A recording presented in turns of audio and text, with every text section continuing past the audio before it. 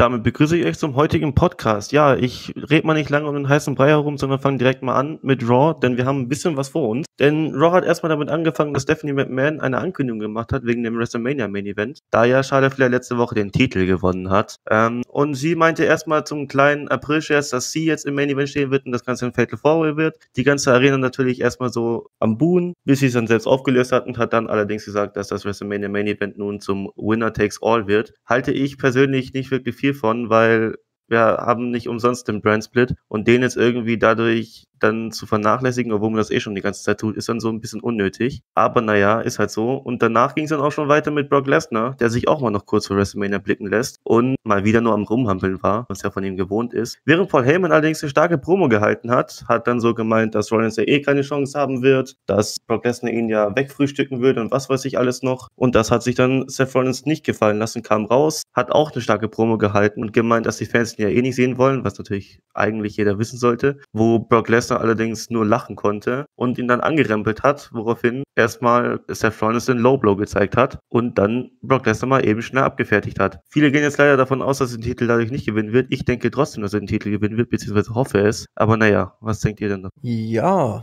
erstmal stimme ich dir voll und ganz zu mit dem Titelvereinigung quasi, also dem Winner Takes All. Also das brauche ich auch nicht. Bin ich kein großer Freund von, aber naja, die Promo von Paul Heyman war wieder mal stark. Aber das kennen wir ja nicht anders von ihm. Und Seth Rollins wissen wir auch, dass er gutes, gute Promos macht. Das war wieder allererste Sahne. Und ja, ich freue mich sogar ein bisschen auf dieses Match, obwohl ich mit Brock Lesnar gar nichts anfangen kann. Ich hoffe einfach, dass Rollins dann den Titel gewinnt. Hm, Winner takes all. Was soll man davon halten?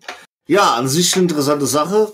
Aber wie Luki schon meinte, wofür haben wir einen Roster-Split? Wenn der Sieger dieses Matches beide Titel bekommt. Also dann kann man den Roster Split ganz abschaffen. Von daher mal wieder relativ unsinnig. Aber wir sind sehr gewohnt von der WWE, dass sie immer wieder Sachen machen, wo wir denken, warum macht ihr das? Dann Seth Rollins und Brock Lesnar. Brock Lesnar war da. Ein Weltwunder. Wieder mal dick für den Kalender markieren, weil sie sehr oft dass er echt nicht vor. Paul Heyman wieder mal eine klasse Promo, was wir echt nicht anders gewohnt sind von ihm. Dann fand ich es mal wieder, hat echt klasse, dass Mal abgefertigt wurde von Seth Rollins, weil sonst ist ja immer er derjenige, der die Leute abfertigt, problemlos. Da fand ich echt gut, also ich hoffe echt, dass Seth Rollins den Titel gewinnt, weil wir brauchen endlich mal einen Champion, der auch da ist. Wie ich glaube, es hieß, war letzte Woche, wo wir schon drüber gesprochen hatten, wo es dann hieß, ähm, sie wollen einen Champion, der wirklich der Champion ist und keinen, der alle paar Monate mal da. Also von daher hoffe ich echt, dass Seth Rollins den Titel gewinnt, weil Seth Rollins ist sowieso schon Cent in den Shows und wird es, wenn der Champion ist, auch sein, im Gegensatz zu Brock Lesnar. Brock Lesnar soll ruhig zurück zur UFC gehen. Den brauchen wir bei Wrestling nicht. Das ist meine Meinung. Michi Daniel, was hat ihr dazu? Das Problem bei den Frauen ist grundsätzlich, dass das ja schon auch vor zwei Wochen thematisiert wurde, dass man davon ausgeht, dass die Titel zusammengeführt werden und das ist jetzt der Schritt dahin. Finde ich auch nicht gut. Ich meine, den Roster-Split bei den Frauen, die gibt's ja gefühlt schon gar nicht mehr, weil entweder du hast irrelevante Frauen, mal abgesehen von den paar, die tatsächlich eine Aufmerksamkeit kriegen und keine Sorge, Luki, ich zähle Mandy Rose tatsächlich noch dazu, aber alle anderen sind ja entweder gar nicht da oder sowieso verletzt. Und der Rest springt ja sowieso gerade darum, wo er will. Ich warte eigentlich noch auf die NXT-Folge, wo man Miss Plastik zu sehen kriegt, so rein theoretisch zumindest. Ja, und Brock Lesnar und Seth Rollins, ganz, ganz schwieriges Thema. Ich weiß, dass das sehr hitzig diskutiert wird, dass man ja im Moment tatsächlich davon ausgeht, dass Seth Rollins den Titel nicht gewinnen wird. Denn, um mal auf unser Discord zurückzugreifen, die erste offizielle Werbung für UFC scheint erst für 240 zu sein für Brock Lesnar und das ist irgendwann, ich glaube, Ende des Jahres. Das heißt, er kann in der WWE noch ein bisschen rumspielen und dann machen die Saudis gerade Werbung mit ihm. Und ich glaube nicht, dass der nach Saudi-Arabien fliegt, ohne einen Titel unterm Arm zu halten. Dafür kennen wir Brock Lesnar eigentlich zu gut. Also schwierig. Ich wünsche es mir nicht, weil ich Seth Rollins gerne als Titelträger hätte, aber abwarten, ganz ehrlich. Es ist, wieder so eine Situation wie damals beim beim, beim Rumble war es, glaube ich, wo man auch erst gedacht hat, na, jetzt ist es soweit. Und dann hat er am Tag des Rumbles seinen Vertrag noch verlängert. Irgendwie war da ganz, ganz seltsam. Ich weiß auch nicht, was ich von den Winner Takes All halten soll, also diese Titelvereinigung. Naja, bei den Frauen, wie schon gesagt, sowieso gerade gibt's keinen Roster-Split, die sind überall. Und mit Lesnar stimme ich Daniel voll und ganz zu. Ich hoffe nicht, dass er den Titel verteidigt. Ich mag Seth Rollins auch, aber wie ja schon gesagt wurde, ist er beim Saudi-Arabien-Event ja scheinbar gebuckt und ich glaube auch nicht, dass sie ohne Titel einen Brock Lesnar dahin schicken. Was natürlich auch sein kann, und da kommen wir dann zu dieser ganzen Saudi-Arabien mit dem Ankündigen. Momentan ist er ja noch Champion. Das heißt, wenn man ihn als Champion ankündigt oder generell ankündigt, möchte man so eher Spoiler umgehen. Da gibt es ja mehrere Möglichkeiten, um den, äh, wenn er angekündigt wird. Das heißt nicht direkt, dass er den Titel auch verteidigen. Das ist aber nur meine Außerdem finde ich, dass man, wenn man ihn jetzt als ähm, Champion ankündigt, dass die Kartenverkäufe vielleicht erstmal in die Höhe steigen. Wir wissen, die Saudis haben gerne viel Geld und dadurch können sie ja im Vorhinein durch Kartenverkäufe schon mal viel Geld machen. Ob er dann als Champion im Endeffekt hinkommt, ist eine andere Sache. Das ist denen dann im Endeffekt relativ egal.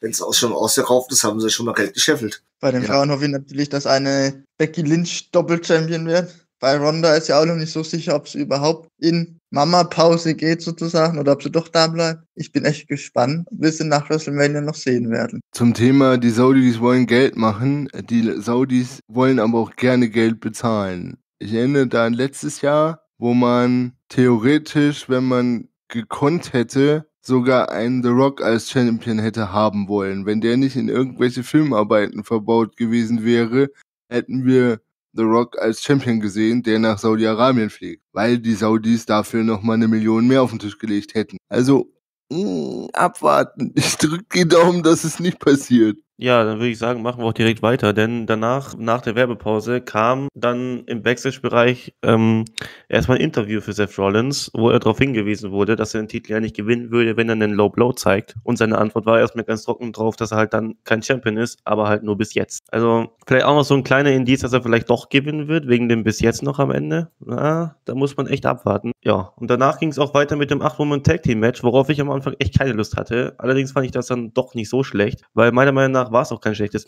Match. Gerade die Aktion von Beth, die außerhalb dann erstmal Tamina in die Barrikade reingetackelt hat, sag ich mal. Und ja, danach hat Peyton Royce erstmal ihre Möglichkeit gesehen, hat sie wieder in den Ring getan, hat sie erstmal ja, erstmal ein paar Slaps verpasst, worauf sie dann erstmal einen Finisher verpasst hat, äh, äh, abbekommen hat. Und den Peyton übrigens auch wunderschön gesellt hat, das muss man auch mal sagen. Und da war das Match auch schon zu Ende. Also wie gesagt, für mich kein schlechtes Match, konnte man machen, gerade zu der, wegen der ganzen Sache, weil ich gar keinen Bock drauf hatte. Ja. Hm, weiß jetzt nicht, dieses Match, was ich davon halten soll. Das sehr, sehr, ähm, ja, komisch würde ich sagen. Manche von den Damen sehe ich da sehr, sehr gerne, die anderen überhaupt nicht. Deswegen, ich fand dieses Match war in Ordnung, weil Termina und Naya nicht eingegriffen haben, so wirklich in das Match. Außer dass Termina da durch die Barrikade geworfen wurde und dieses Match war super bis dahin. Beth Phoenix hat gezeigt, dass sie noch was kann. Und mittlerweile freue ich mich sogar auf dieses WrestleMania-Match. Ich fand das Match auch an sich ganz interessant. Nur zwischendurch wieder ein bisschen Ohrenschmerzen bekommen durch unsere ähm, Freunde von den Iconics. Aber das sind wir mittlerweile gewohnt. Ja, Beth Phoenix wieder mal klasse. Ähm, Finde ich genial, dass jemand, der wirklich dann schon so alt ist, im Anführungszeichen, doch noch so gut wrestlen kann. Also Hut ab, kann nicht jeder in ihrem Alter. Und von daher fand ich es echt interessant. Ja, Termina hat wieder mal schön was anbekommen, was ich sehr gut finde. Da wir alle eh, naja, Jackson Termina nicht wirklich mögen. Von daher, Matchzeit war 11 Minuten 14. Schön lang, nicht zu lang, nicht zu kurz. War in Ordnung, finde ich. Wenn es nach mir geht, könnte man aus dem Match einfach Tamina und Naya rausstreichen, weil mich persönlich nerven die zwei einfach nur noch. Und nach dem, was ich da gesehen habe, frage ich mich auch, wie lange Sascha Banks das noch so machen darf, wie sie es macht, weil es ge vergeht gefühlt keine Folge mehr, in der sie nicht irgendwas verbotscht. Und zwar so, dass es selbst der blindeste Zuschauer erkennt. Ja, WrestleMania, ich weiß nicht, ob ich es gut finden soll. Ich finde die Einführung der Tag Team Titel für Frauen ganz gut. Schön, dass sie sie haben. Aber so wie es angesetzt ist, will ich es nicht sehen und so wie Sascha Banks aktuell arbeitet, will ich das auch nicht sehen. Und Malu, dir lege ich ans Herz, du suchst doch einen Job. Bewirb dich doch einfach bei Rewe.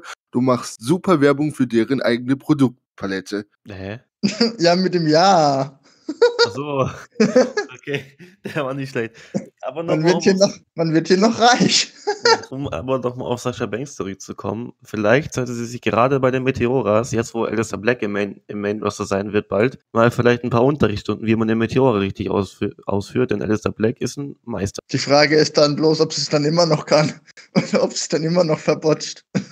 Naja, hoffentlich verbotzt sie es dann nicht mehr, ne? Aber da ist ja nicht nur der Alistair Black, der die Super kann, sondern auch ein Andrade, der die Super zeigt. Also da sind zwei Leute, wo sie sich Unterrichtsstunden holen. Also meine Meinung zum Match, ich fand es auch nicht schlecht. Dieser Glam Slam am Ende, der war mega gut. Also ich weiß jetzt auch aber auch nicht, wer dieses Match bei WrestleMania gewinnt. Ist echt schwierig. Ich glaube, dass die Iconics das gewinnen werden, weil die irgendwie am schwächsten dargestellt wurden von Naja, aber die haben schon mal die Champions gepinnt. Kann man auch nicht vergessen.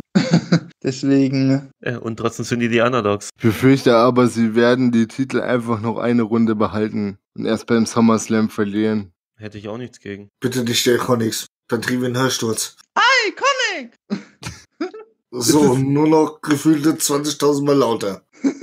Das ist so schön, wie Michi das macht. Der kann das so gut. Ja, also Michi ist sowieso noch einen neuen Job oder einen Nebenjob, kann doch als Mitglied der Iconics werden. Hier als ähm, Schreier irgendwie, keine Ahnung, als Ankündiger für die zwei. Nein, so, danke. Der das beherrscht. Also, lukrative Nebenverdienst, Michi. Lass uns weitermachen. dabei. Lass uns Nein, weitermachen.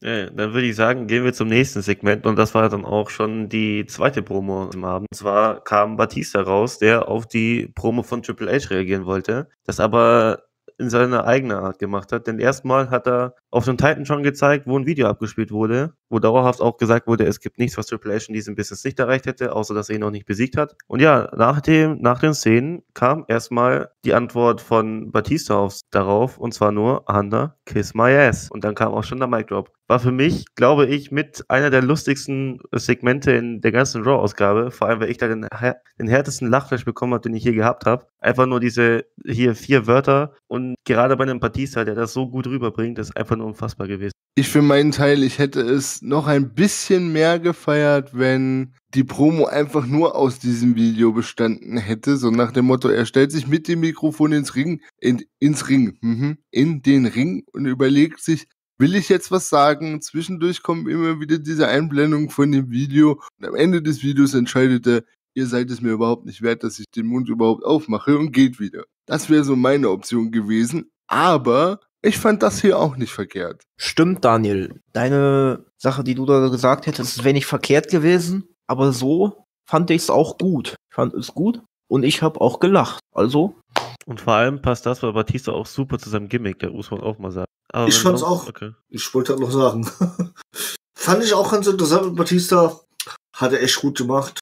Vor allen Dingen wurde er bejubelt, weil er in seiner Heimatstadt ist. Und ja, mit diesem Video auf dem Titantron kann man auch machen, ganz interessant. Und ich bin echt gespannt, wie es bei WrestleMania zwischen den beiden ausgeht. Ja, dann würde ich sagen, gehen wir zum nächsten Segment und das war für mich so mit das unnötigste Segment in der ganzen Raw-Ausgabe. Denn wir hatten ein Lumberjack-Match und zwar zwischen Apollo Crews und Jinder Mahal, das Apollo Crews gewinnen konnte in einem Squash-Match, darf man auch nicht vergessen. Und nach einem Frog Splash, ich wusste nicht, dass man, dass ein Apollo Crews-Match jetzt nach einem Frog Splash beendet. Naja, auf jeden Fall kam danach noch so eine kleine Preview, sag ich mal, für Sonntag mit der the Giant Memorial Battle Royal, wo am Ende auch nochmal Apollo Crews im Ringschatten gefeiert hat, weswegen für mich eigentlich auch klar ist, dass er das nicht gewinnen wird. Aber naja, für mich, wie gesagt, das unnötigste Segment in der ganzen Raw-Ausgabe, gerade wegen dem Lumberjack-Match, was ich stehe, weil die haben wirklich nichts gemacht. Und das Match ging vielleicht drei Minuten. Also, warum? naja, ich verstehe, warum man einen Lumberjack gebracht hat. Damit man dieses Andre the Giant Memorial Battle Royale Match aufbaut.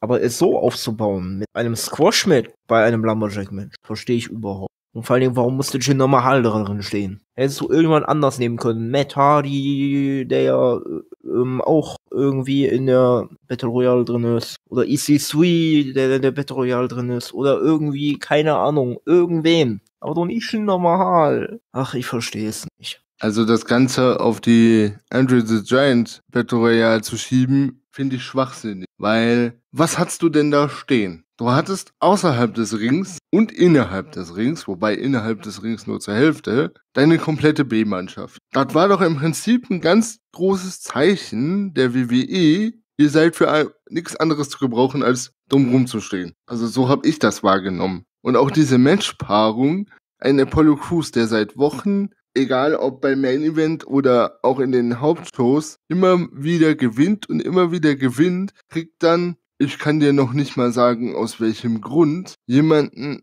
dahingestellt wie Jinder Mahal. Ich weiß nicht, was die WWE sich dabei denkt. Ich glaube, die WWE denkt sich da relativ wenig dabei, sonst würde sie es nicht machen. Aber gebe ich dir recht, Daniel, man könnte wirklich meinen, dass Vince denkt, ach hier, euch, die da drin waren, euch brauche ich eigentlich nicht. Euch kann ich nur für sowas gebrauchen als Kanonenfutter und ja, ein Verschwinder Mahal, naja, man braucht ihn nicht, aber er ist leider da und ja, man hätte wirklich viel lieber andere Leute wie EC3 oder irgendwer oder die Hardys nehmen sollen.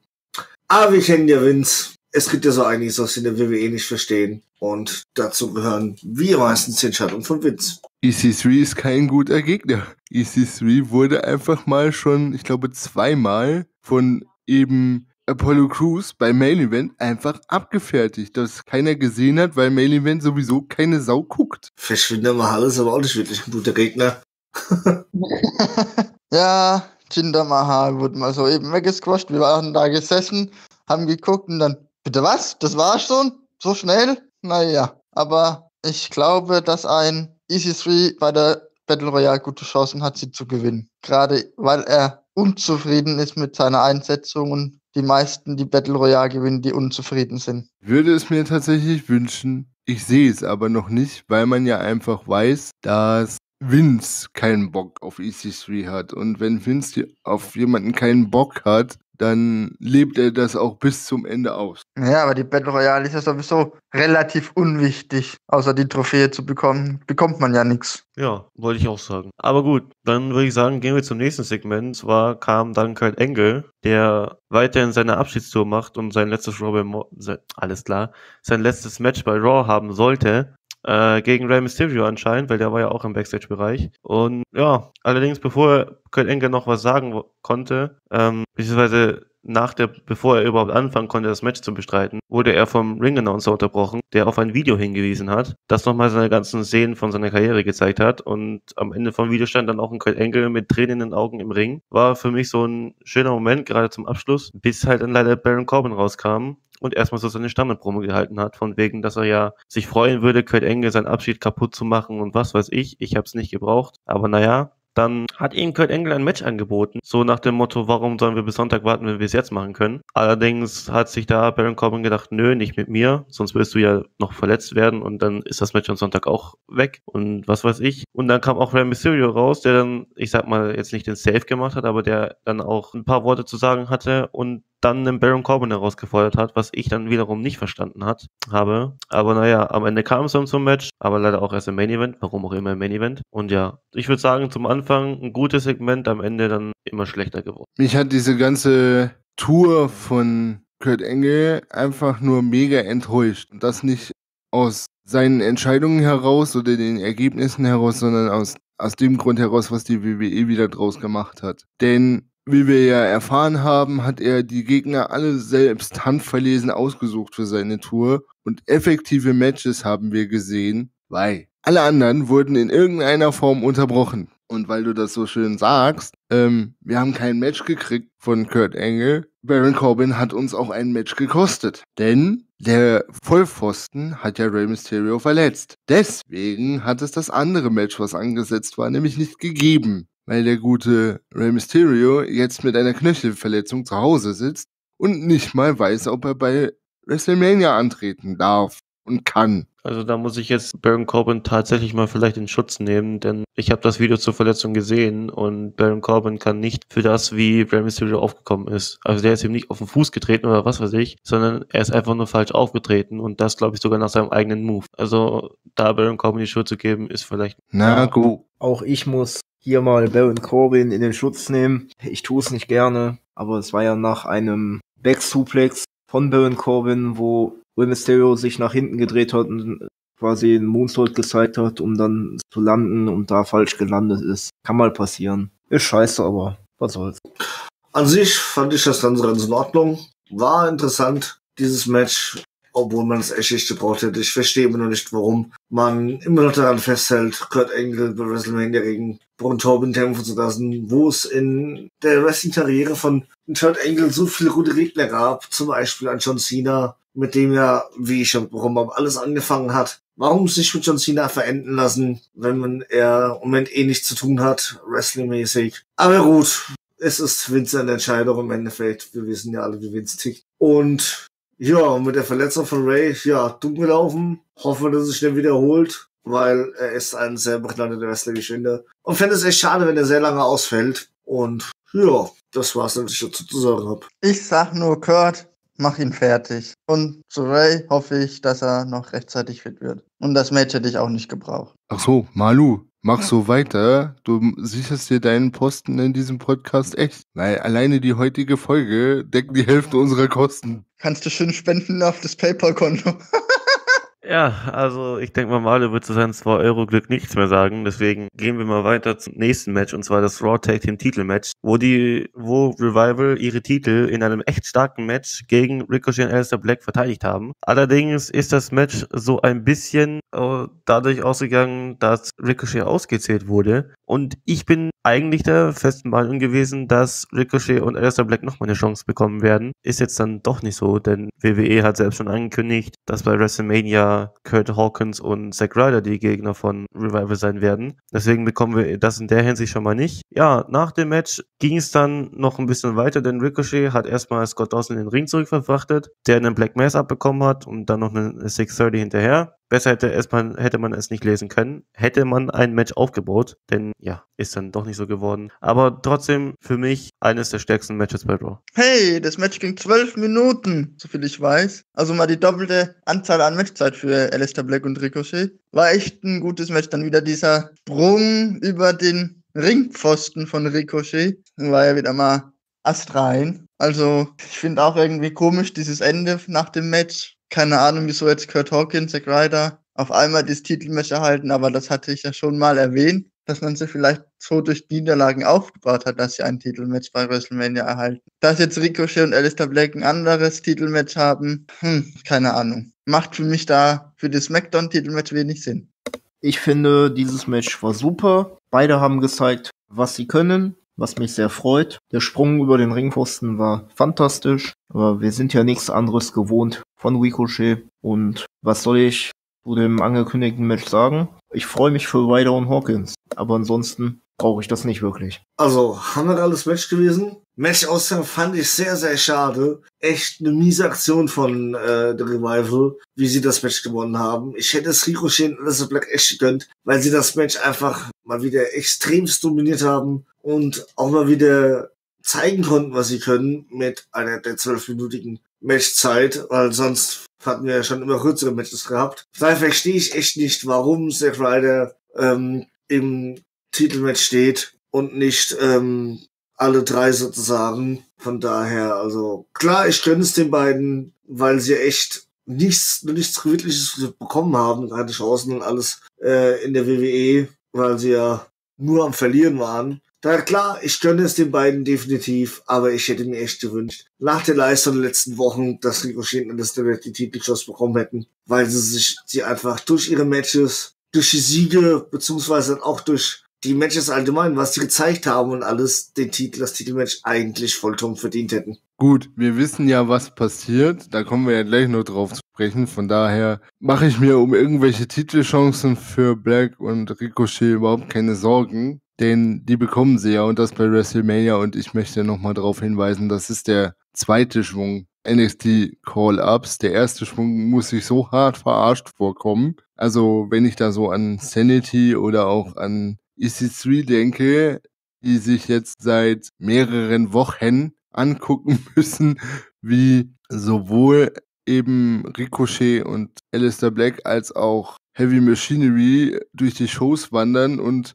eingesetzt werden und gefeiert werden wie sonst was. Und EC3 darf beim Main Event gegen Apollo Crews verlieren oder den Spiegel putzen. Ich käme mir hart verarscht vor. Und ja, man nutzt sie jetzt halt für die von uns ja letzte Woche schon so leicht angedeutete und erwartete Bestrafung für die Usos bei SmackDown, aber da kommen wir gleich noch zu. Von daher, vielleicht gewinnen sie ja die blauen Gürtel. Mal gucken. Ach so, ganz kurz noch zum Thema Zack Ryder. Grundsätzlich finde ich es saugeil. Ich bete nur, dass nicht das passiert, was im Hintergrund im Moment diskutiert wird, dass es passiert. Du meinst den Revival-Split? Ja, genau den. Ich bin der Meinung, dass er nicht passieren wird.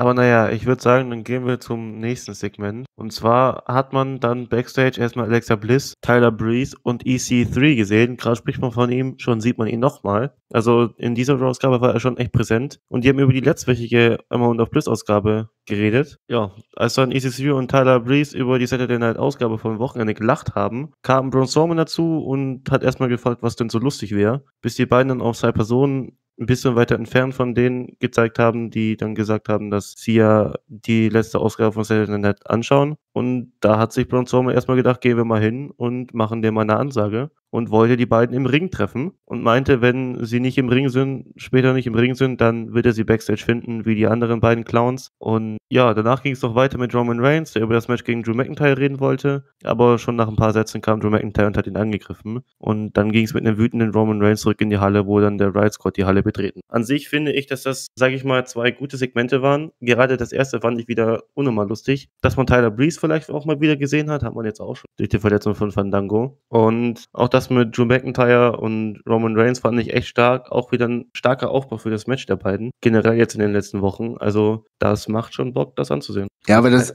doch, aber genau das ist ja das Problem. Ja, er war präsent, aber in welcher Form? Und das ist einfach, gerade bei EC3, den ich ja so vom Aussehen und von der Statur her immer mit Alberto del Rio verglichen habe und immer dabei gesagt habe, dass er vom Können her aber jetzt schon ein hundertfaches über Alberto del Rio steht. Es ist einfach mega Verschwendung.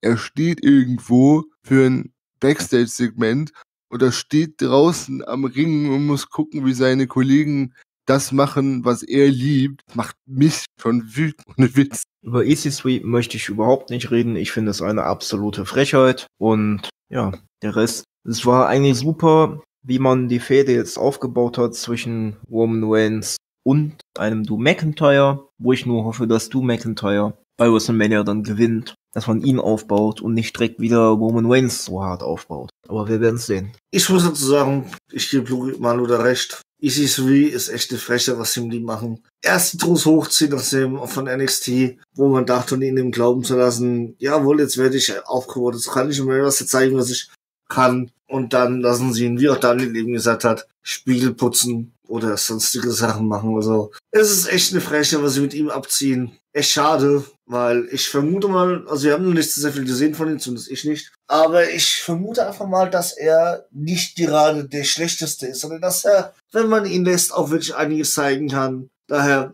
echt schade. Vielleicht kommt's ja noch. Hoffen wir es mal. Ich kann dir zu EC3, was Matches angeht, eine Empfehlung geben. Geh einfach zum letztjährigen Takeover von WrestleMania. Der sieht Okay, ja gut. Ich würde sagen, Okay. guck, guck dir einfach alles an von ihm, von NXT, das reicht.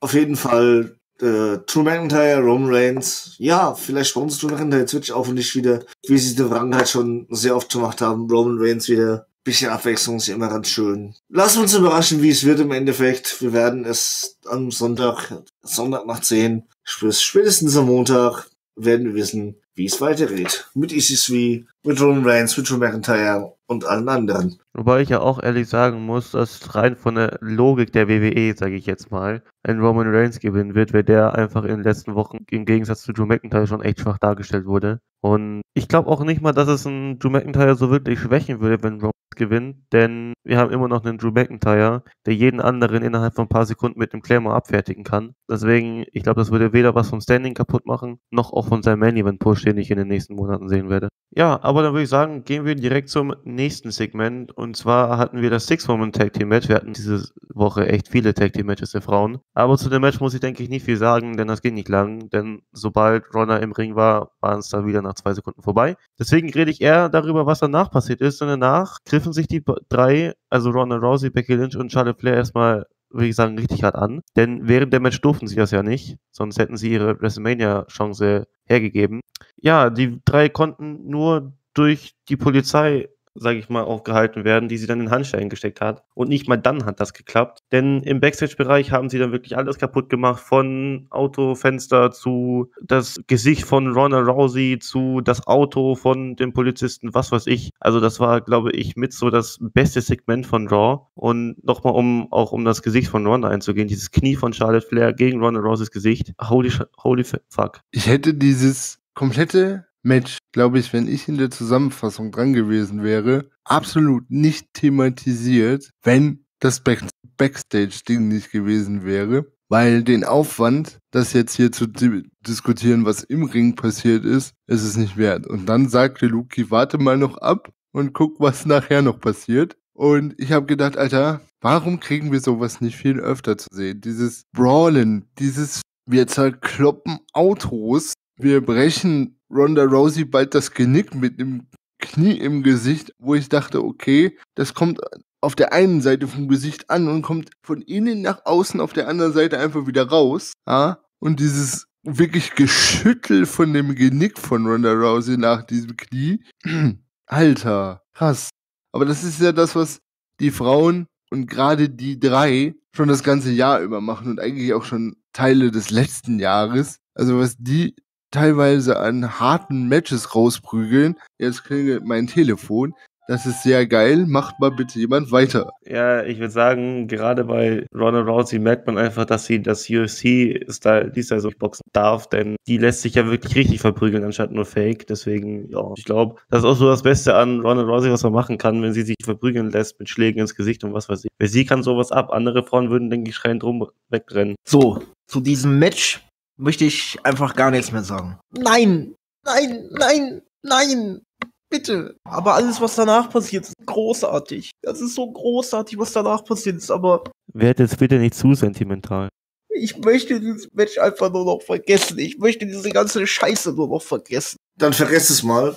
Ich muss aber dazu sagen, ein echt geniales Segment. Auch gerade im Ring. Das Match war ja so lala. Aber was ich lustig fand, ist, dass die, die drei Mädels sich während dem Match schon so leicht angefaucht haben. Wenn ich denke, ich glaube, es war Becky, die sich während äh, Miss Plastik in der Nähe des Ringsaals ähm, die bearbeitende ihre Gegnerin war, einfach selbst angefecht hat und zu schaltet so nach dem Motto, meinte, ja, hast du Pech, so nach dem Motto. Und dann natürlich diese Brawl im Backstage-Bereich. Genial. Also, Hammer, diese drei. Vor allen Dingen, wo dann äh, Ronda Rousey ins Polizeiauto gesetzt wurde, haben sie Becky daneben gesetzt. Die beiden gucken sich an und fangen an, sich mit den Füßen hm, zu treten und alles. Ah, und im Endeffekt hat Ronda Rousey die äh, Autoscheibe kaputt gemacht, äh, wo ich dachte, Alter, dann holen sie Becky raus, wollen sie ins Polizeiauto sitzen, merken, oh shit, da sitzt Charlotte schon drin, holen Charlotte raus, setzen Becky da rein und fahren mit beiden Polizeiautos erstmal weg und haben ein alles Segment. Also, wie Daniel schon meinte, geht uns das doch bitte öfters. Vor allen Dingen, wie schon gesagt wurde, wie Ronda aussah, die ja wirklich einiges bekommen hat. Die ist aber auch absolut gestört durch ihre, dadurch, dass sie es bei der UFC mehr oder weniger gewohnt ist. Aber wie gesagt, geiles Segment. Gerne mehr davon. Also so, jetzt ist mein. Das Segment auch mega. Also ich weiß gar nicht, was man dazu sagen soll. Besser hätte man das echt nicht machen können. Das ist echt eine, eine richtig geile Fehde. Bitte noch ein bisschen mehr davon. Ich möchte noch einen Satz dranhängen, weil jetzt ist mein Telefon woanders. Das Einzige, was mich an diesem Segment gestört hat, waren diese Fake-Polizisten. Diese Uniform, Alter. Die WWE hat so viel Kohle. Dann steckt doch ein bisschen mehr ins Kostümbild. Dann, weil diese Auf Näher, in Anführungsstrichen, die die da auf den Armen hatten. Alter, das sah aus, als hätte die jemand als Papa ausgeschnitten und hätte die einfach nur auf die Arme draufgeklebt. Furchtbar. Alles in allem, aber wie gesagt, für mich mittlerweile echt die beste Storyline im Main Roster seit langem. Also, holy fuck, was die da alles abreißen, das ist echt unfassbar. Und ich habe so leider das Gefühl, dass es auch in der nächsten Zeit irgendwie die letzte Storyline wird, die so abgehen wird, weil ich glaube, Vince ist blöd zu merken, dass das einfach jedes Mal so sein sollte, was Fäden angeht, gerade bei den dreien. Aber gut, wenn sonst keiner mehr was dazu sagen will, würde ich sagen, gehen wir ins Segment. Und das war mal wieder ein Squash-Match. Und das war so das Squash-Match, was mich neben der Jinder Mahal-Sache am meisten aufgeregt hat. Denn in dem Match war Bobby Roode und Gable gegen Heavy Machinery. Und Heavy Machinery durften einfach mal in kurzer Zeit erstmal Roode und Gable abfertigen. Ich weiß nicht, wie lange das Match ging. Ich habe dir jetzt gerade die Zahlen nicht vor mir. Das kann einer von den anderen gleich mal sagen. Allerdings glaube ich, dass es nicht so lang war.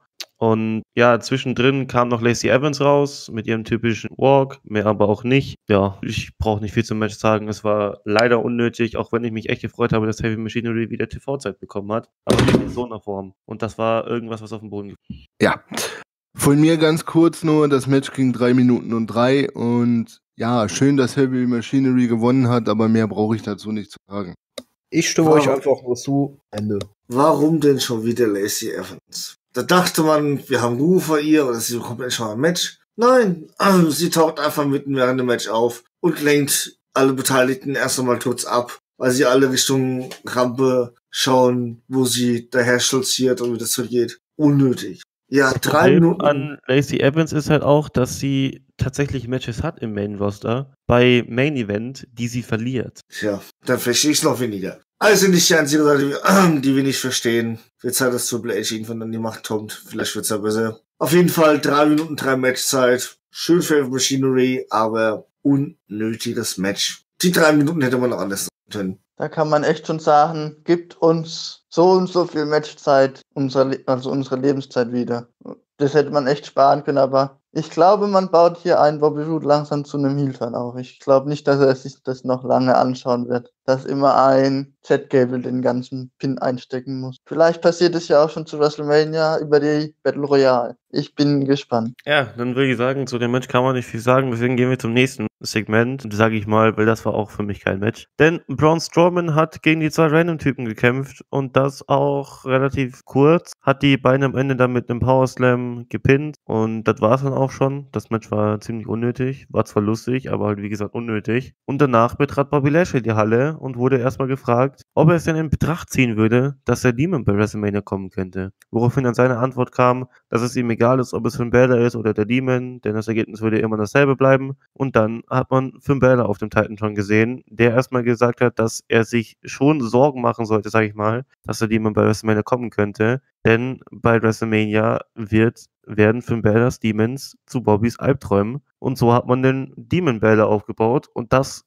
mit dem Video noch von Finn Balor richtig geil gemacht. Ich habe mir noch an, ich glaube Daniel war das erinnern, oder war das Evo, ich bin mir gerade nicht sicher, der gesagt hat, dass man am Ende nochmal dann die, das Ganze zurückbringen soll und dann da Finn Balor wieder steht und nicht der Demon. Aber ansonsten gibt es da nicht wirklich viel dran auszusetzen. Heißt allerdings für mich auch, dass das Match und der Sieger schon feststeht, denn ein Demon wird bei WrestleMania nicht verlieren. Ja, das war tatsächlich ich. Ich hätte es einfach von der Dramaturgik besser gefunden, wenn die dann danach nochmal das normale Gesicht von Finn Balor eingeblendet hätten, quasi so als Bildshow, Dia-Show, wie auch immer du es nennen willst, so nach dem Motto Finn Balor, Demon, Finn Balor, fertig. Weil es sind ja mehrere Dämonen, deswegen hätte das aus meiner Sicht ganz gut gepasst. Ich fand es aber auch sehr schön anzusehen. Und ja, zu der Geschichte mit Braun Strowman, mich hat's unheimlich genervt. Vor allen Dingen, weil hier dann wieder benutzt wurde,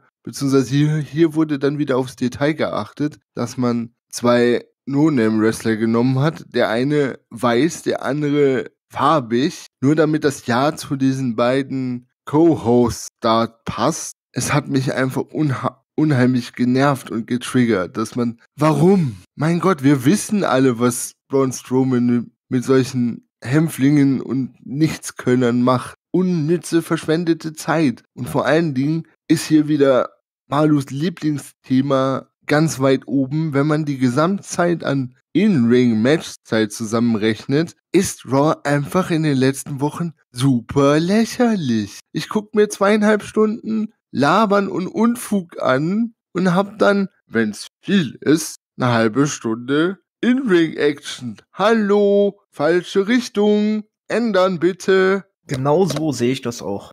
Ich möchte über War auch immer gar nicht mehr so viel reden. Okay, äh, das meiste ist echt unterhaltsam geworden in den letzten paar Wochen. Man hat so wenig Wrestling. Es ist doch immer eine Wrestling-Show und nicht wir reden zweieinhalb von drei Stunden und irgendwann gibt's mal fünf Squash-Matches und das war's. Ja, toll. Ja, dann bin ich ehrlich, muss ich auch gar nicht schauen. Stimme ich voll und ganz zu. Also, was die Matchzeit betrifft, ist es echt mau. Und warum sie Bro äh, Braun Strowman wieder in so ein Match reingesteckt haben, ich weiß es nicht. Und dann noch gegen Backstage-Mitarbeitern. Hätte nicht sein müssen. Gut, ich, ich würde dann sagen, damit wir Raw relativ schnell abschließen können, denn danach kommt noch eine unnötige Sache, gehen wir auch schon zur unnötigen Sache, und zwar der Main Event. Baron Corbin gegen Rey Mysterio. Und da hat Daniel schon angesprochen, dass sich Rey Mysterio in dem Match schon verletzt hat. Das ist schon die erste Sache, die ich halt dann an der Sache scheiße finde. Ähm, das Match war, glaube ich, auch nicht wirklich lange. Baron Corbin hat am Ende mit einem Deep Six gewonnen. Mehr muss man da nicht sagen. Auf der Rampe kam noch Gerd Enkel von hinten, hat den Enkellock angesetzt, wo Corbin direkt getappt hat und dann war die Show vorbei.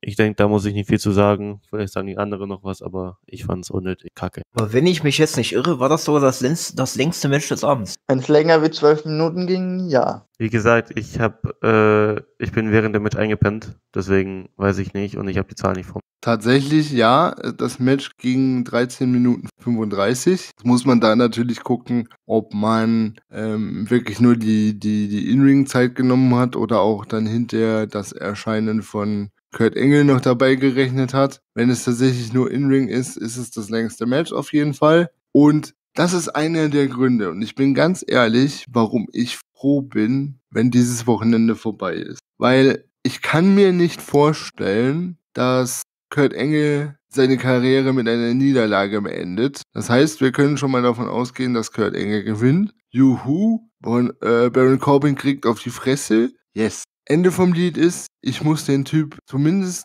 erstmal weniger ertragen und alles, was mich dahin führt, ist gut. Aber des Weiteren wollte ich zu diesem Match noch sagen, ich habe es auch nicht gebraucht. Es waren zwar 13 Minuten und es war einer meiner Lieblings-Superstars in dem Match, nämlich Rey Mysterio, aber auch Rey Mysterio hat aus Baron Corbin kein vernünftiges Match bekommen. Also ich frage mich echt, warum man Baron Corbin überhaupt unter Vertrag hat. Okay, seine Promos sind super. Ja, aber man muss doch auch wresteln können. Wenn selbst ein Rey Mysterio, der im Ring alle Freiheiten bei der WWE hat, aus dem kein vernünftiges Match zaubern kann. Wer soll es denn dann bitte machen? Ja, ja, Baron Corbin.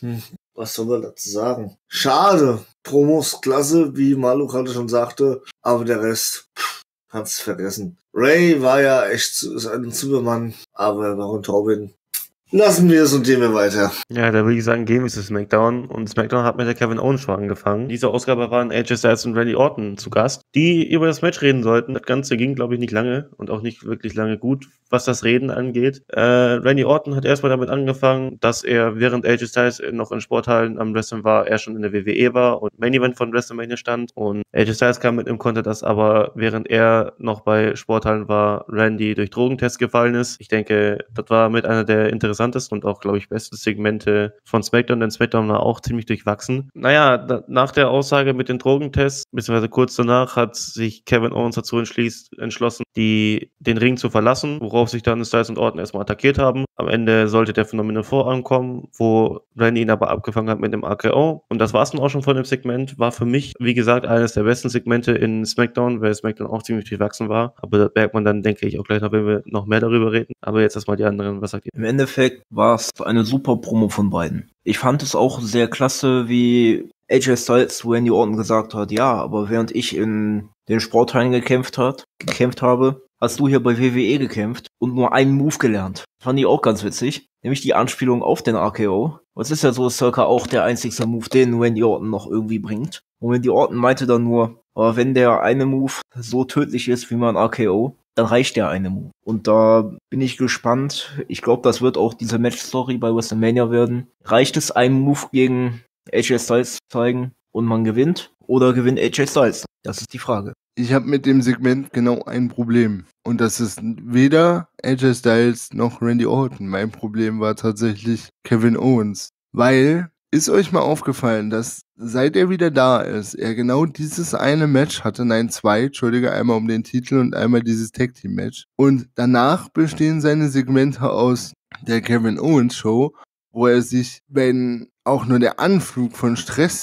auftaucht, aus dem Ring verzieht. Das nervt mich. Ich will den Mann wresteln sehen. Und ich hatte gerade, während ich so drüber nachgedacht habe, ganz kurz den Gedanken, was ist, wenn der Kerl schon wieder verletzt ist und das deswegen passiert. Und ich habe echt ganz kurzen Schauer über den Rücken. Gruselig. Stimmt. Das ist mir auch aufgefallen. Ich möchte, ich möchte Kevin Owens auch wresteln sehen. Er ist einer der besten Wrestler, die man in der WWE hat. Vielleicht sogar einer der besten, die es auf der Welt gibt. Und das finde ich sehr schade, dass er nicht im Ring eingesetzt wird. Wenn es wieder daran liegt, dass er verletzt ist, dann kann ich es mir aber eigentlich nur vorstellen, nicht, dass es eine neue Verletzung ist, sondern dass er irgendwie nicht alles auskuriert hat von seinen Verletzungen und jetzt äh, immer noch daran leidet. Vielleicht hat man auch einfach momentan keine wirklich Pläne für Kevin Owens bis WrestleMania. Wie soll man den sonst einsetzen? Und wird deswegen noch bis WrestleMania, sag ich mal, auf Sparflamme gehalten, dass eben so eine Verletzung kommt und kriegt dann bei, nach WrestleMania eine Riechsäule wieder. Kann auch. Könnte ich mit leben, beziehungsweise könnte ich mehr mit leben als mit einer Verletzung, nervt mich trotzdem. Ich will den nicht nur mit irgendwelchen Gummizugkrawatten da rumsitzen sehen. Ja, die Kevin Owens Show ist jetzt auch nicht gerade schlecht. Aber der AKO war mal wieder aus dem Nichts, kann man sagen. Ich bin echt gespannt auf dieses Match. Also aus dem Nichts will ich nicht sagen, weil ich saß da und habe gesagt, ja, jetzt kommt der AKO. Gut, aber wie soll ein AJ Styles den abfangen, bitte? da hat sich ja quasi wieder umgedreht und hat den AKO gezeigt. Aber ja, man konnte sich da schon denken, dass er wiederkommt. Aber ich glaube eher, dass ein AJ Styles am Sonntag gewinnen wird. Glaube ich tatsächlich Was- nicht, denn Randy Orton wird relativ gut dargestellt und ich glaube, dass es für AJ Styles nach WrestleMania zu Raw geht. Was soll man dazu sagen zu dem Ganzen? Ihr habt eigentlich schon alles gesagt. An sich interessant gewesen. Auch gerade die Sprüche von AJ Styles und Randy Orton. Ja, fand's leicht schade, dass der phänomenale Form nicht durchgegangen ist. Dafür haben wir mal wieder einen AKO gesehen. Wie er so schön gesagt wurde, der einzige Move, den Randy Orton kann.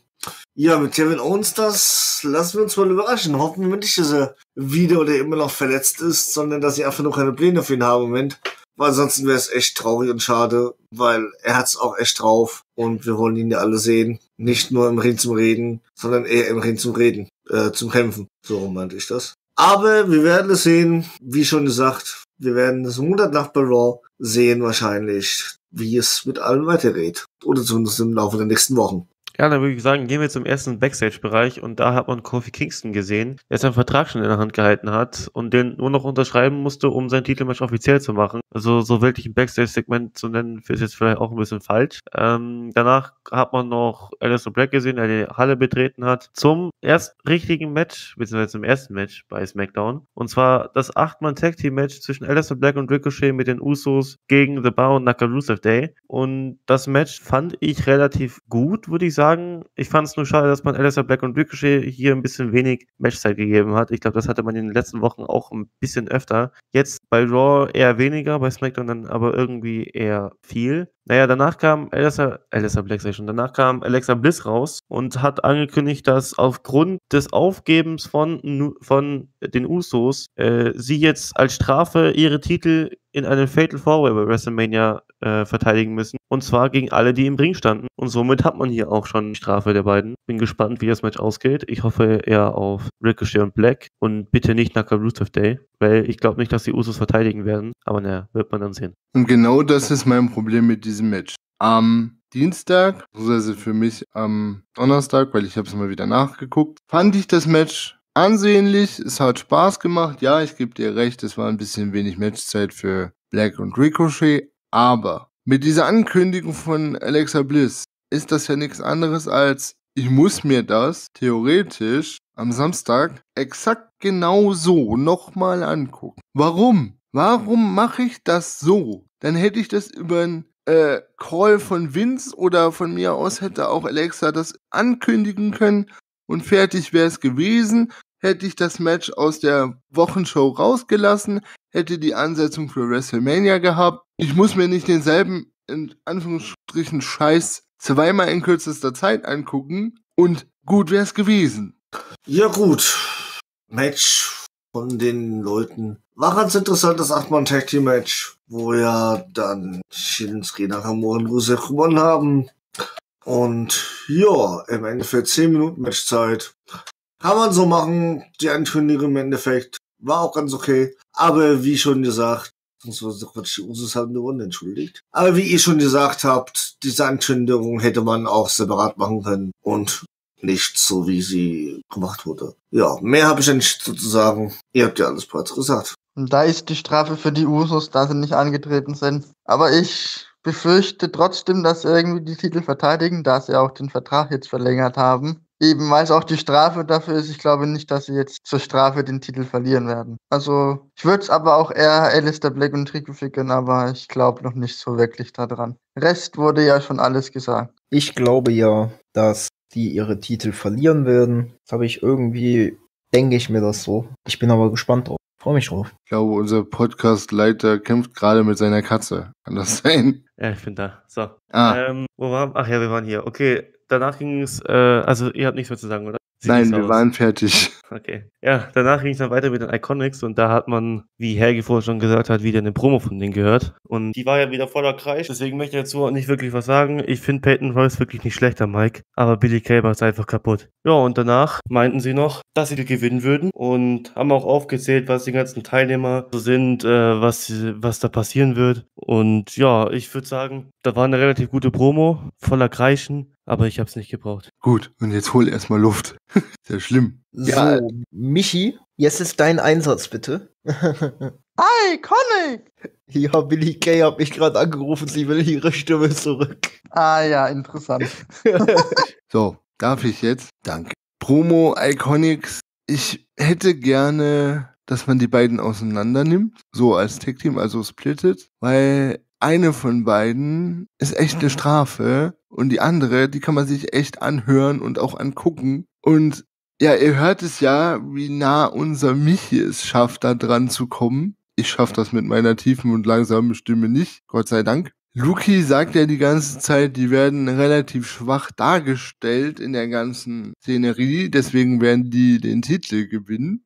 Ich glaube nicht dran, weil die waren die einzigen in der ganzen Szenerie, die die aktuellen Tag Team Titelträger gepinnt haben. Von daher abwarten. aber auch nur unfair und äh, dadurch, dass man mit so, dass Billy Kay halt Sascha Banks Arme fest. Nein, das war ein ganz normaler Roll-Up. Nein, im Hintergrund hat Billy Kay die Arme von Sascha Banks festgehalten. Oh, okay. Egal, aber sie haben es ja geschafft.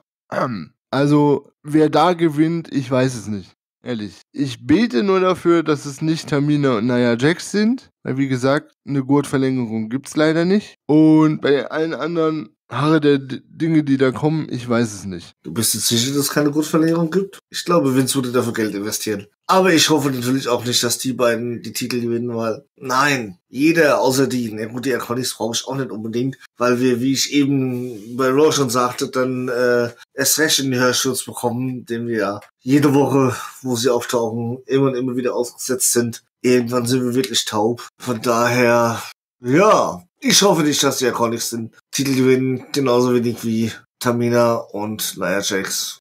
Ich bin gespannt, trotzdem gespannt, wie es ausgeht. Vielleicht habt ihr recht und die Iconics gewinnen. Wenn es so ist, dann soll es so sein. Aber dann sollen sie doch bitte mal leiser sein. Weil wir sind alles alte Leute. Das ist zu laut für uns. Ich sag auch schon immer, wenn eine Billy Kay dann am Mikrofon ist, kann man ihr nicht dieses Mikrofon ausstellen. So am Schreien ist die oder am Quietschen, wie auch immer. Ich glaube auch nicht, dass sie Champions werden. Ich glaube auch eher, wie Daniel schon sagte, dass Sascha und Bailey nochmal verteidigen werden. Ja, dann würde ich sagen, gehen wir so mit zum, ich würde sagen, dümmst gebuckten Match von SmackDown. Denn wir haben das, das Handicap-Match Miss gegen Sanity. Ja, ich sag Sanity extra so, weil Sanity bekommt eh schon so wenig Matchzeit. Und dann in so einem Match fragwürdig, denn The Miz hat natürlich, was auch sonst, gewonnen. Nachdem das Match erst normal angefangen hat, gegen Eric Young hat er da angefangen, aber dann hat sich Shane so gedacht, ja, mitten im Match komme ich mal raus und sage, dass das Match in Force Count Anywhere wird. Und dadurch hat Miz dann gewonnen, indem erst Alexander Wolf durch den Tisch geflogen ist, Killian Dane gegen den Stromkasten katapultiert wurde und dann noch äh, Eric Young einen Rollkoffer, sag ich mal,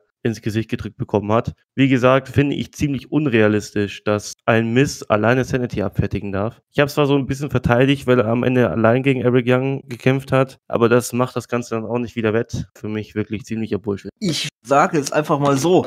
Hätte es bei War nicht Jinder Mahal gegen Apollo Crews gegeben, hätte ich gesagt, war das das äh, am schlimmst gebuckte Match der Woche. Wer sag ich dazu jetzt auch nicht? Viel mehr als Bullshit kann mir da auch nicht so einfallen. Zumal, was man vielleicht noch ganz kurz nebenbei erwähnen sollte, während seiner Regeländerung hat ja Shane dann auch noch währenddessen, wahrscheinlich in der Hoffnung, dass es The Miz ein bisschen mehr ablenkt, dessen Vater weiter beleidigt als Kartoffelgesicht und so Scherze. Ich weiß nicht, was das bringen soll. Und wenn im Vorfeld jemand meine Familie als Kartoffelgesicht bezeichnen würde, würde mich das nur noch wütender machen und eigentlich genau das Gegenteil von dem in mir hervorrufen, als das, was Shane vermutlich gewollt hat. Ja, und der Rest des Matches ist einfach mit dem Lieblingswort aus dem letzten Podcast zu betiteln, nämlich Bullshit. Bullshit hoch 10. Wie kann man denn einen The Miz Sanity-Film machen? Also, ah, wie kann man einen einzelnen Wrestler drei Menschen fertig machen? Also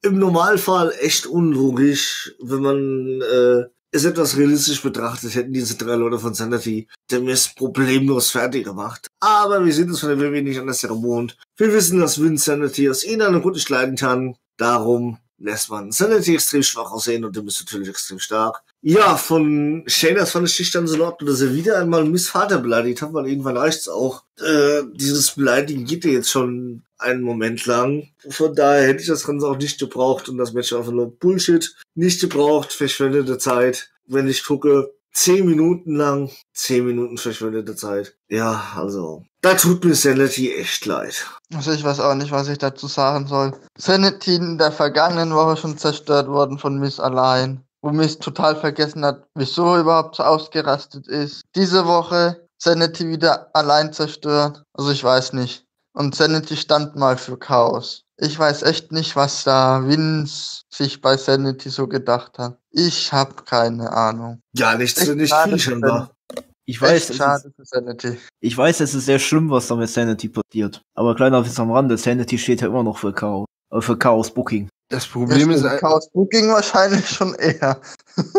das Problem ist einfach, und das sieht man in den letzten Wochen, und da rede ich jetzt nicht von 14 Tagen, da rede ich jetzt tatsächlich so von 4, 5, 6, 7 Wochen, sieht man halt wieder ganz stark, dass Vince alles aussortiert, was ihm direkt Widerworte gibt. Weil das hatten wir in der privaten Diskussion schon. Sanity gehören auch zu denen, die relativ zeitnah nach ihrem Call-up und so Richtung Mitte auf Twitter Riesenalarm gemacht haben, dass sie schwer angepisst sind, wie sie eingesetzt werden. Und das ist jetzt der Re der Retourkutsche daf- dafür. Und das passiert mit so vielen Wrestlern aktuell, die einfach dann nur noch ja als Spielzeuge von Vince eingesetzt werden, weil sie sich trauen, das Maul aufzumachen. Und das nervt. Ja, wie gesagt, ich glaube somit das Segment mit dem meisten Bullshit. Aber was will man machen? Ich würde sagen, wir gehen dann zum, ich würde sagen, mit einer der besten Segmente.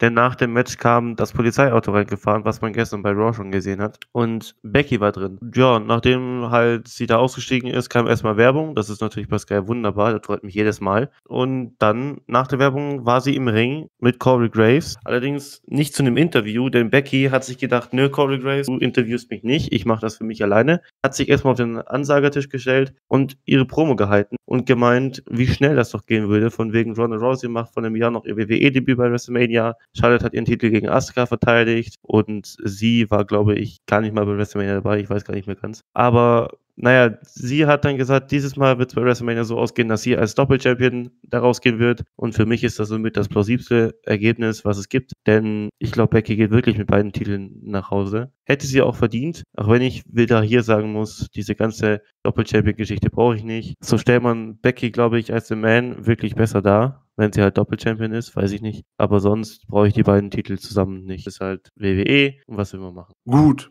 Ich meine, dass Becky Promos halten kann, brauchen wir nicht drüber reden. Ihre Einfahrt mit einem Polizeiauto stärkt einfach nur noch meines Erachtens das The Man-Gimmick. So nach dem Motto, wie ich war nass, wie ich soll vor Gericht, scheißegal, ich nehme mir sogar ein Polizeiauto, fahr damit mal eben weg. Fand ich sau stark. Und ja, bei dem Rest bin ich tatsächlich zu 99,9% bei dem, was Luki gesagt hat. Denn wenn wir jetzt schon Doppelchampion ertragen müssen, dann bitte mit Becky, weil A verkörpert sie die WWE auf Frauenseite meines Erachtens im Moment am stärksten und das The Man Gimmick passt einfach, um daraus den ersten Doppelchampion bei den Frauen zu machen. Von daher bitte, lass es Samstag so sein. Alles besser als Miss Plastik. Du meinst Sonntag. Aber ich hoffe auch, dass Ja, ich meine, ich meine Sonntag. Aber ich hoffe auch, dass Becky den Titel gewinnt, weil bitte, bitte nicht Miss Plastik. Hat schon gereicht, dass sie letzte Woche den SmackDown-Titel gewonnen hat. Und ja, oh nein, mich schaut jetzt immer wieder, wenn ich sie sehe, vor allem da ich heute ein Bild auf Instagram gesehen habe, wieder ein komplett anderes Bild von ihr. Ich glaube, sie war sogar ungeschminkt oder irgendwie total, sah auf jeden Fall anders aus, als wie sie im Ring kennen, aber trotzdem immer noch Plastik. Von daher hoffe ich echt, dass Becky gewinnt. War echt eine interessante Szene, wie sie mit der Polizei da reinkam und dann im Ring sich um selbst, selbst interviewt hat. Das Man-Image könnte man natürlich echt gut weiter aufbauen. Becky ist einfach top. Vor allem Vince mag sie nicht, aber ich finde sie cool. Hoffen wir es, dass Becky es wird. Auch wenn wir schon gesagt haben, dass das mit dem Winner Takes All Bullshit ist. Aber wenn man schon Bullshit fabriziert, soll man wenigstens die Möglichkeit gewinnen lassen. Und nicht Miss Plastik Bullshit. Hm, Die liebe Miss Plastik. Ahem. Also nein, ich bin auch für Becky. Hoffe, dass sie Doppel-Champion wird, wenn man es schon ertragen muss. Sie ist genauso wie ihr. Also bitte keine Miss Plastik. Und eine Runde Rousey.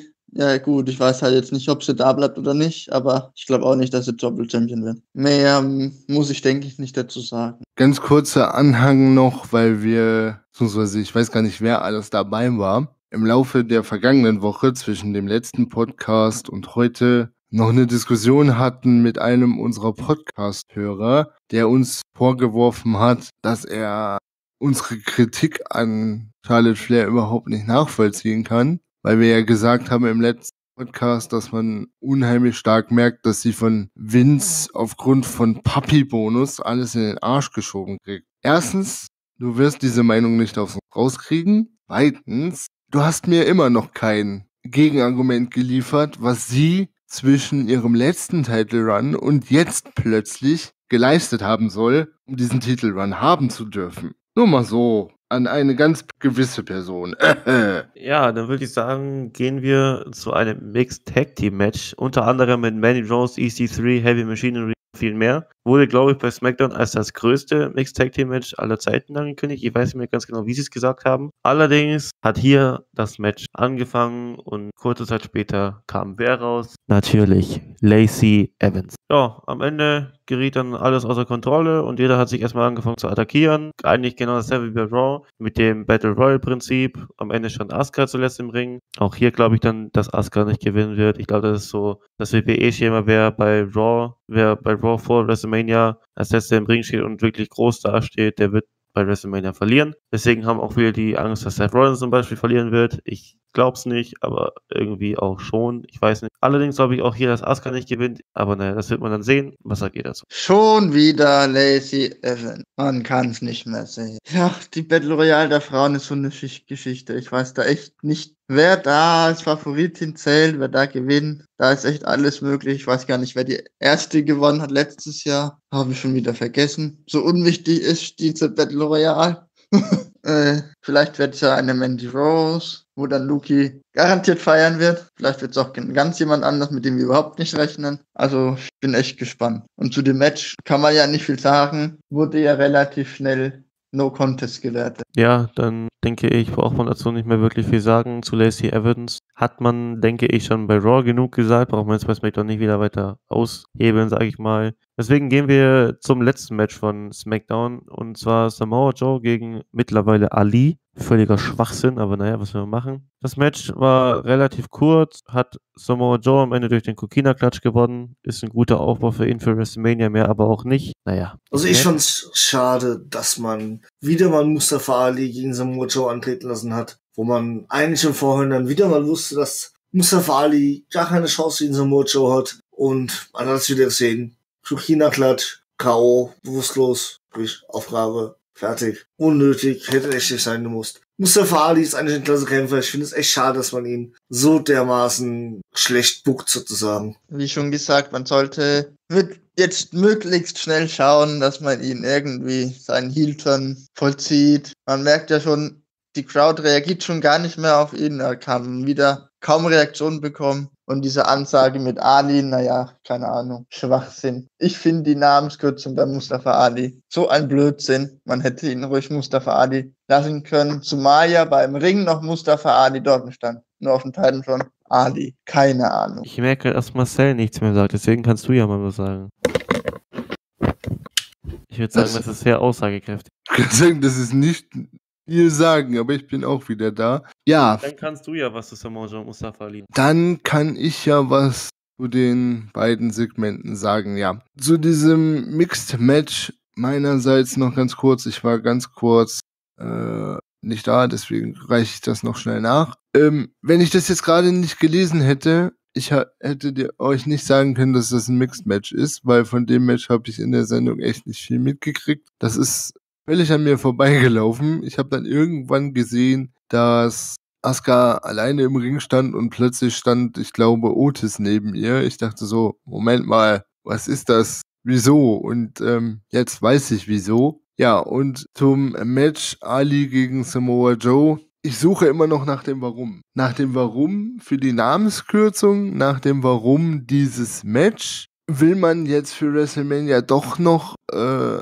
aufbauen, dass er mit ins Titelgeschehen geht? Ich weiß nicht. Und dann Ali in zwei Minuten abfertigen zu lassen, äh, Vince, Vince, Vince. Es wird Zeit, dass nächstes Jahr wird und du dich um deine komische Football-Liga kümmerst. Endgültig, ich war jetzt gerade sehr lange überlegen, ob ich überhaupt was dazu sagen soll. Mit dem Mixed Match hättet ihr jetzt nicht gerade angefangen darüber zu reden, hätte ich nicht sagen können, dass es das Match überhaupt gab. Habe ich schon wieder komplett vergessen.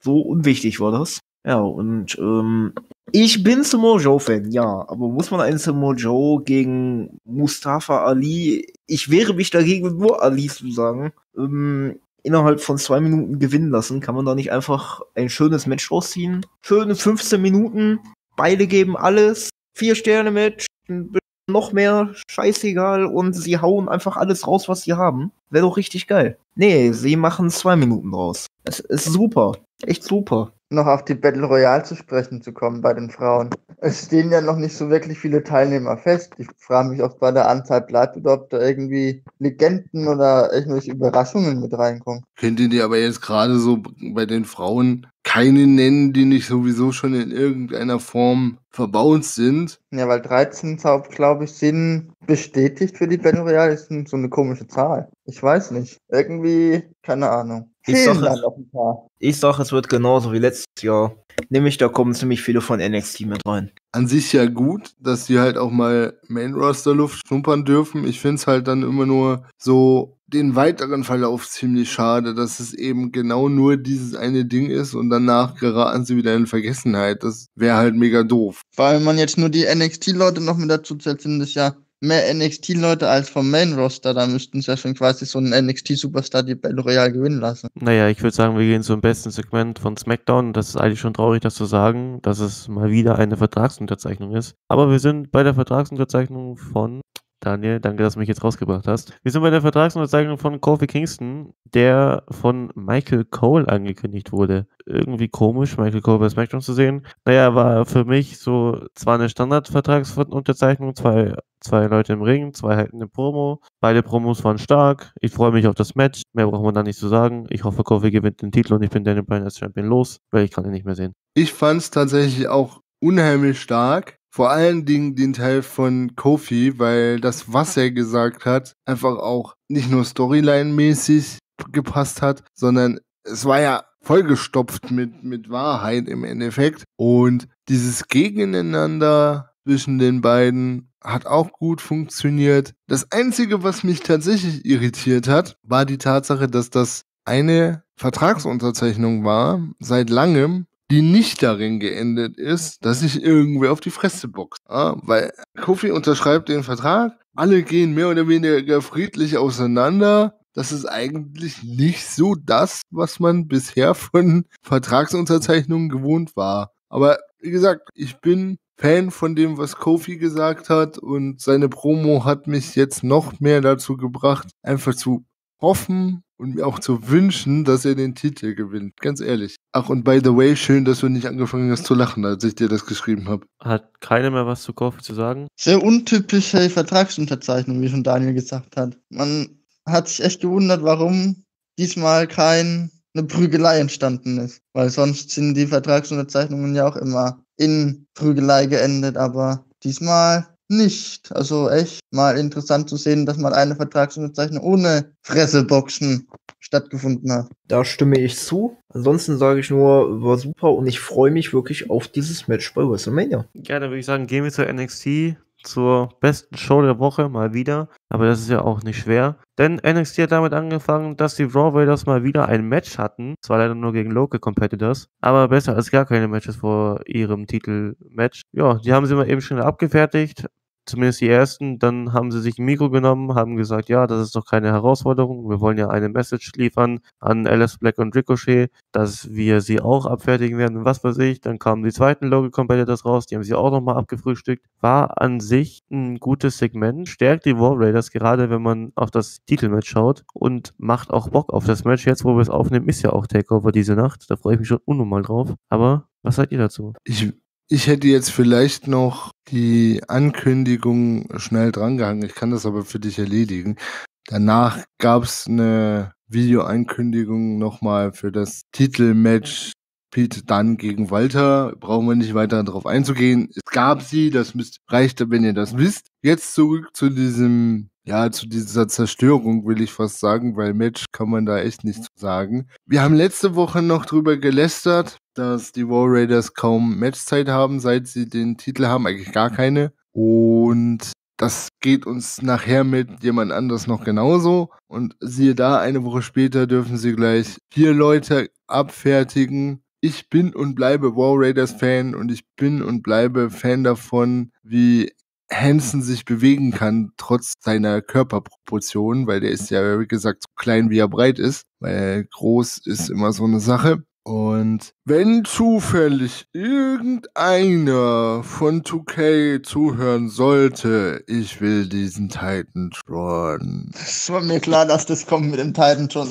Daniel. Ja, aber es ist ja nicht mehr lang bis zum neuen 2K-Spiel. Stell ich mal dann wieder drin sein, dann hast du ihn. Und zu dem Match, ja. Vier Gegner mal innerhalb von paar Minuten abgefertigt. So kann man sie für das Titelmatch aufbauen. Man hätte sie auch gerne mal öfters sehen können in der Zeit, wo sie Champion waren. Aber ging ja nicht durch dem ganzen Turnier. Jo, alles wurde gesagt. Ich finde es super, dass man sie wieder im Ring gesehen hat. Ich bin ja auch Fan von den beiden. Ich finde die absolut klasse. Und da kann ich einfach nur sagen, ich finde es gut, wie man sie jetzt aufgebaut hat in der letzten Show für das Takeover jetzt. Und ich freue mich schon so dermaßen auf Takeover, was ja für uns schon heute ist. Und ja, der Rest von NXT war aber auch nicht schlechter.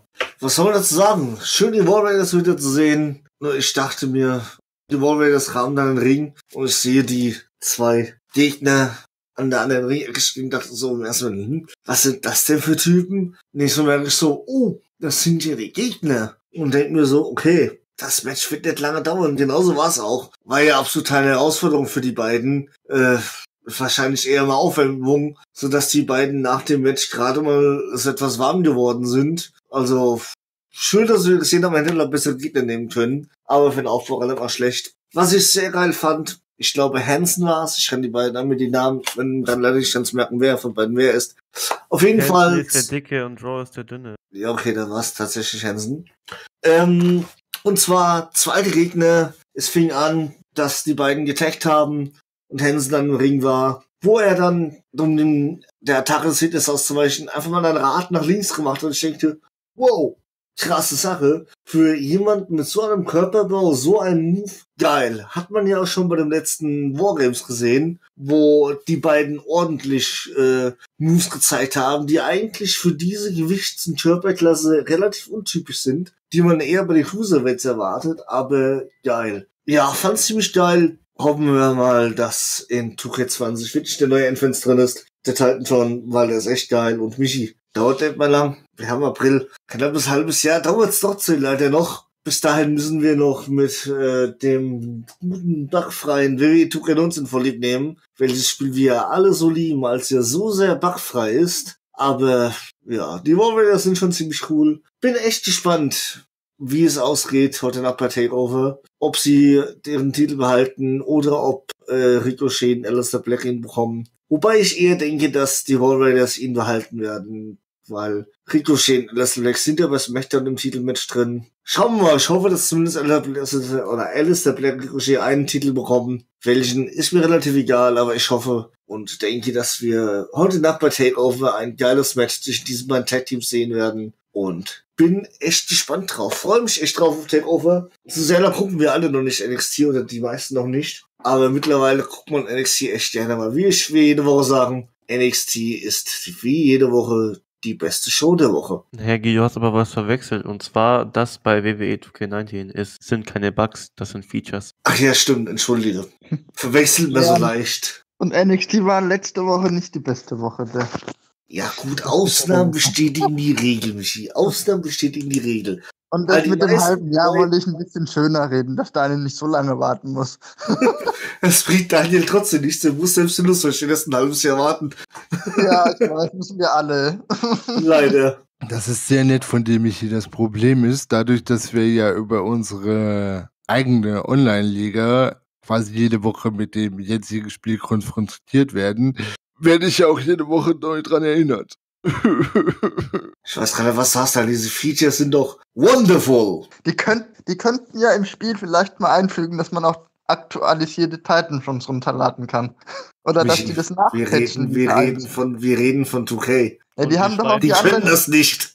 Die haben doch auch Streifen- Tag-Team-Einzüge reingepatcht durch ein neues Update. Richtig, wie Lukas schon meinte, wir schweifen ab. Lass uns weitermachen. Sonst kommen wir gerade mal zum Ende. Ich würde sagen, wir gehen zum ersten Backstage-Segment, kann man das sagen? Nein, glaube ich nicht. Auf jeden Fall hat man draußen außerhalb der Arena Candice LeRae gesehen, mal wieder. Wieder jetzt nicht, aber endlich. Und sie hat gesagt, dass sie sich für ihren Mann freut, dass er jetzt bei TakeOver sein NXT-Titelmatch hat und natürlich auch hofft, dass er das gewinnt. Sie aber selbst sich darauf fokussieren möchte, selbst im Titel geschehen zu sein und sich da jetzt hinzuarbeiten. Dann wurde sie allerdings von Vanessa Bourne und Carmella Verschnitterleier unterbrochen. Die meinten, dass sie sich nicht so viele Hoffnungen machen soll, denn sie würde ja genauso scheitern im Titelgeschehen wie ihr Mann. Von ja, dann meinte Candice, dass sie ja mit ihr anfangen kann, sie zu besiegen. Hat eine Challenge hera herausgefordert. Jetzt bin ich gespannt, wann das passieren wird. Gucken wir mal. Aber an sich war es ein gutes Segment und ich freue mich, dass man Candice LeRae in den nächsten Wochen vielleicht mal wieder öfter im Ring sehen wird. Ich glaube, das soll in zwei Wochen kommen. Also nach, oder war das nächste Woche auf jeden Fall? Stand da, wann es kommt. Ich bin mir auch nicht mehr sicher. Nee, ich glaube, es war tatsächlich nächste Woche und ich muss ganz ehrlich sagen, es wird Zeit. Denn man hat ja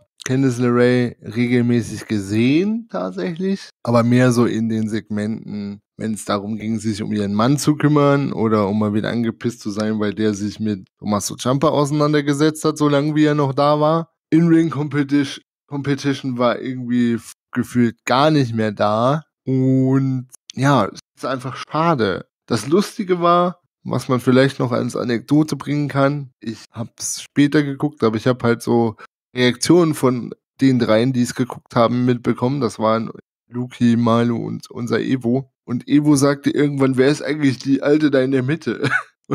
Und Luki völlig entsetzt, das ist Candice LeRae, Mann. Ach echt? Also so in der Art war diese Unterhaltung. Von daher seht ihr, wie relevant die bis dahin in der Show war. Dass äh, Evo keine Ahnung hatte, wer das ist. Und ich finde es gut, dass man das jetzt langsam mal wieder ändern will. Und ich hoffe, ich hoffe wirklich, dass sie den Titel gewinnt. Weil das fühlt sich ja wirklich schon so an wie bei ihrem Mann.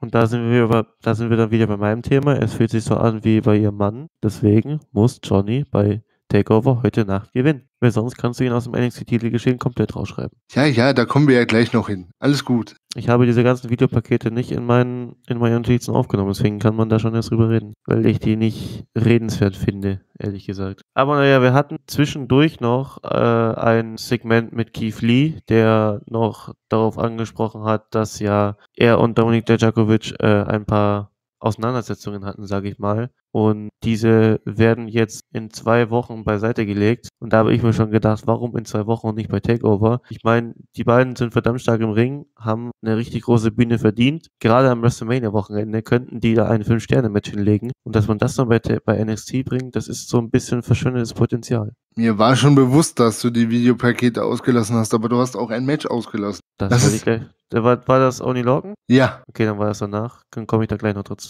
zu sprechen. Weil Uni Lorcan gegen Jackson Riker war Match Nummer drei und holy crap, war das ein geiles Match. Krass, Alter. Aber gut, wenn du da noch drauf hin willst, dann ig- ignoriere ich das jetzt. Keith Lee habe ich, als wir es geguckt haben, dann im Nachhinein, ich habe das wie immer eigentlich mit Michi dann nochmal nachgeguckt und äh, Luki kam dann dazwischen und wir war, kamen zu diesem Segment und ich habe mich so hart darüber geärgert, dass dieses Match nicht auf die Takeover-Card kommt, dann hat mich Luki tatsächlich aufgeklärt, dass Keith Lee wohl immer noch verletzt ist. Da war ich etwas versöhnlicher mit der ganzen Situation, aber es nervt mich trotzdem, weil Keith Lee und Dominik Dijakovic, super geile Paarung. Die zwei, die haben so gut harmoniert. Ich hätte das so gerne heute Abend gesehen. So müssen wir jetzt noch eine Woche oder zwei warten. Ich habe es auch hier leider nicht mehr im Kopf. Und ähm,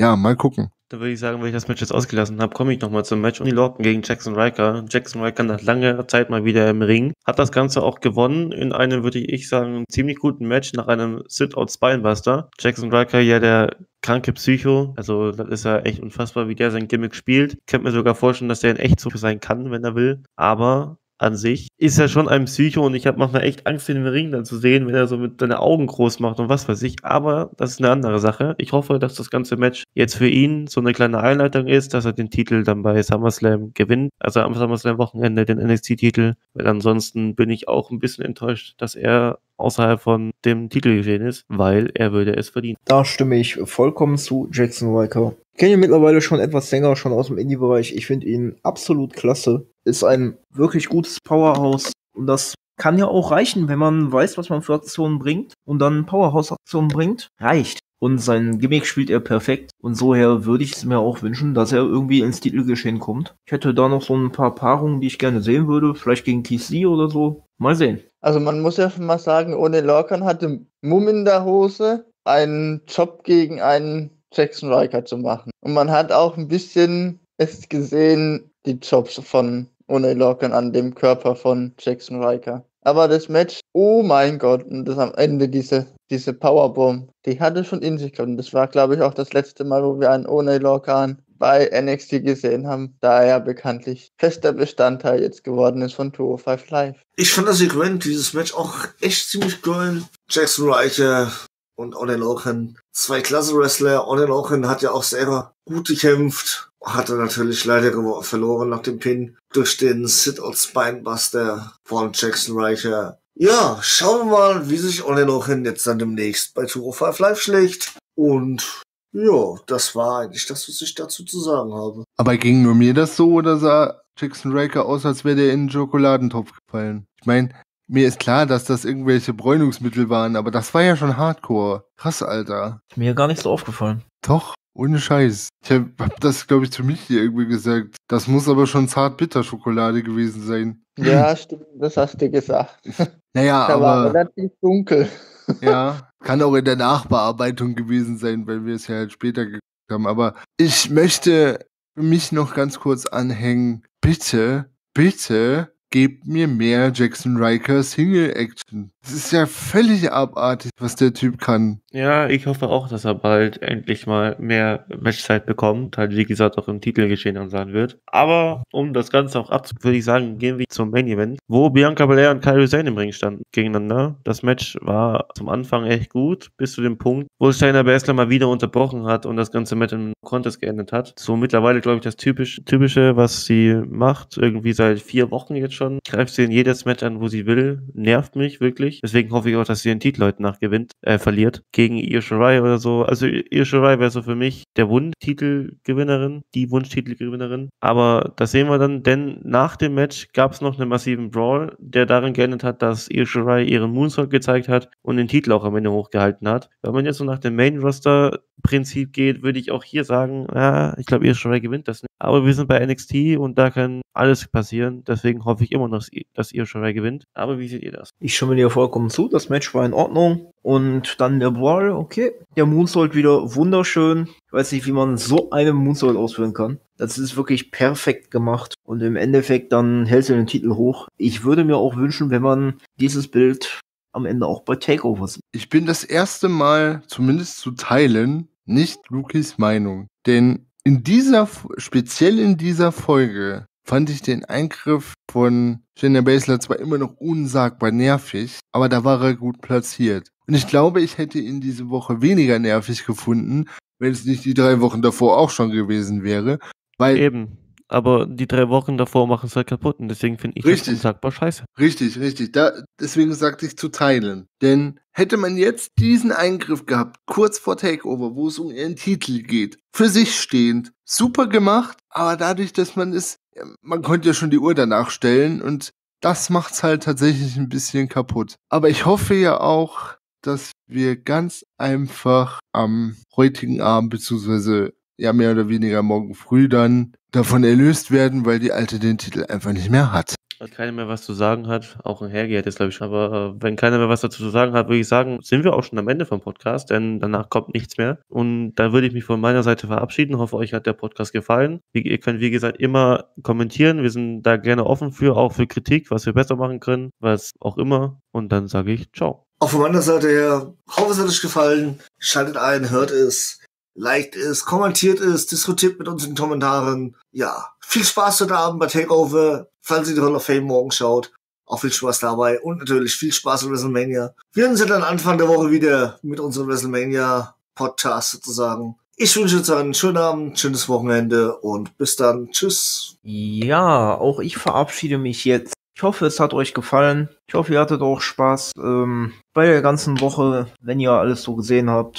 Und jetzt auch am WrestleMania-Wochenende. Und wir hören uns dann zu den nächsten Podcast. Tschö, macht's gut. Auch ich verabschiede mich. Ich hoffe, ihr habt wieder Spaß beim Podcast hören und ihr hattet Spaß bei Takeover. Halt, bis der Podcast rauskommt, ist es ja schon rum. Wünsche euch dann viel Spaß bei WrestleMania am Sonntag und dann hören wir uns nächste Woche wieder. Ich glaube, ich gehe jetzt gleich erstmal eine Runde vorschlafen, damit ich Takeover überstehe. Auch ich verabschiede mich an dieser Stelle nochmal kurz zu dem, was Luki gesagt hat. Natürlich freuen wir uns über jedwede Kommentare und auch gerne Diskussionsgrundlage, aber Diskussionsgrundlage auf der Basis, deswegen habe ich das eben mal so persönlich angesprochen, dass man auch eben diskutieren kann, dass man auch Beispiele bringt, nicht wie das gewisse Leute tun, Herr Spaceboy, einfach zu sagen, ist so, ja, ist so, ist aber scheiße. Dann sagt mir warum, dann kann man diskutieren. Und das wollen wir von euch haben. Jede Menge davon. Und wir gehen euch diese Woche ja gefühlt noch 20 Mal auf den Keks, weil wir werden WrestleMania machen, wir werden Takeover machen und das getrennt voneinander, damit ihr nicht sterbt vor lauter Zuhören. Eventuell werden wir, das müssen wir dann noch gucken, die Hall of Fame bei NXT noch reinpacken, damit das auch ganz kurz thematisiert ist. Das wird noch so viel Content diese Woche, deswegen verzeiht auch, dass es heute etwas chaotischer gelaufen ist, weil wir gerade echt gucken müssen, dass wir viele, viele Termine finden, wo wir alle Zeit haben. Ansonsten macht es gut und ciao.